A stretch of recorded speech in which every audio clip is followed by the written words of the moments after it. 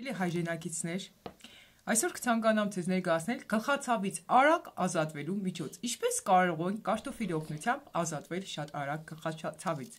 Դե ինչ, գեղեվազրգում ենք կարտոֆիլը։ Գլխացավ, որը շատ շատերի մոտ է տարածված եւ չգիտեն ինչպես ազատվել դրանից։ Ազատվելով կեղևից կարտոֆիլը, պարզապես կտրատում ենք բարակ շերտերի, վերածում ենք բարակ շերտերի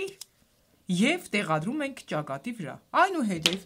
կարող ենք կամ բնտի օգնությամբ փաթաթել ճակատին, կամ կտորի, կամ և այլն: Արդյունքը շատ երկար սպասեցնել չի տա, մի քանի րոպե անց դուք կազատվեք ցավերից: Եթե ունեք սիրելի հայրենակիցներ դուք էլ ձեր տարբերակները, ապա գրում եք մեկնություններում: Եվ եթե փորձում եք և զգում եք, որ այն ձեզ օգուտ բերեց, դնում եք լայքեր և կիսվում եք մյուսների հետ, ինչու մյուսներն էլ չսովորեն առանց քիմիական թեղամիջոցների ազատվել սովորական տանջող անհանգստացնող գլխացավերից: Այսքանը սիրելիներ: